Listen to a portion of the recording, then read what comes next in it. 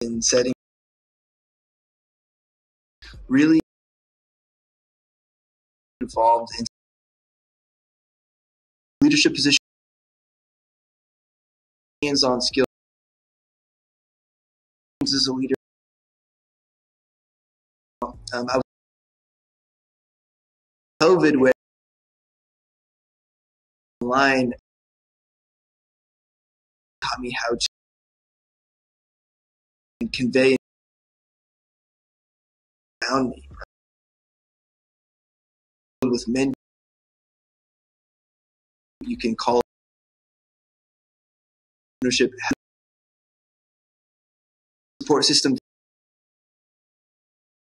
Um, so if I